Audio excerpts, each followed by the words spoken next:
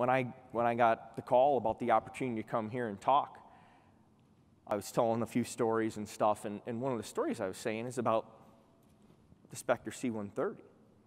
And I was talking about the DAV and the, the amount of scope that they have and the amount of assistance that they provide is a lot like the Spectre, right? It's that 30,000 foot view, but they can come right down and touch you if they need to, right? And it's not that they need to be there holding your hand every step of the way, it's just that you know they're there.